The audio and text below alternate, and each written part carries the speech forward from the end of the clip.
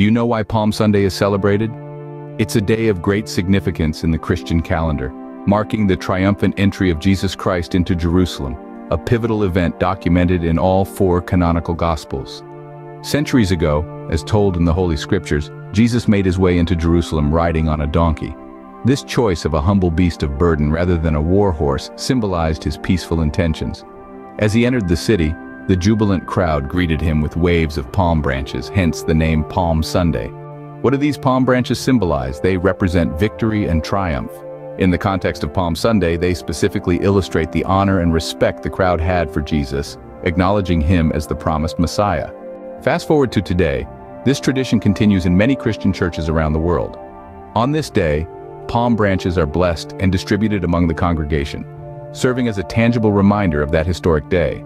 Palm Sunday also marks the beginning of Holy Week, a solemn seven-day period leading up to Easter Sunday. Each day of this week carries its own significance, reflecting on the events of Jesus' last days before his crucifixion.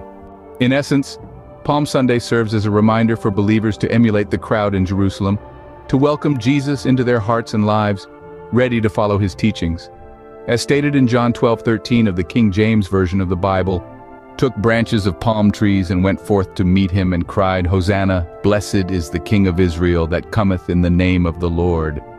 As we observe this Holy Week, let us remember the passion of Christ and how each day carries its own spiritual weight. May the blessings of God be upon you. A prayer to conclude, Hosanna to you, Jesus my King. As you rode into Jerusalem, the people followed and praised you. Blessed is he that cometh in the name of the Lord. Hosanna in the highest. Precious Jesus, the beginning of your week of passion was marked by this day. You knew well what lay ahead of you. I praise you for embracing such a difficult path for the sake of the world you loved. Be with me through the difficulties I face in this life. Help me to follow and praise you all my days. Bless our children to serve you and always give you the highest praise. In your name I pray. Amen.